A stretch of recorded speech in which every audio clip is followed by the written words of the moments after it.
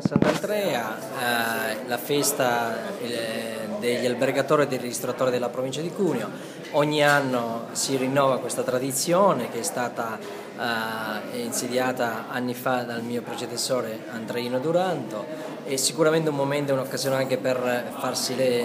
gli auguri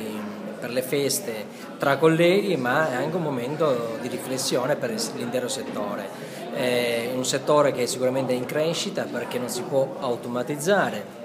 è un settore dove i giovani se hanno voglia possono trovare un impiego e sicuramente anche una prospettiva, proprio in un momento di restrizione di lavoro come in questo momento, noi lo consigliamo con grande eh, entusiasmo ai nostri giovani. Il, nella nostra provincia eh, il turismo sta crescendo sempre di più e in, man mano che cresce il turismo sicuramente cresceranno anche le, eh, i posti di lavoro in questo settore. E quindi ci auguriamo che soprattutto la stagione invernale che è alle porte eh, possa essere proficua e ricca di soddisfazione per gli operatori turistici e per le vallate che, ci, che circondano le nostre bellissime montagne.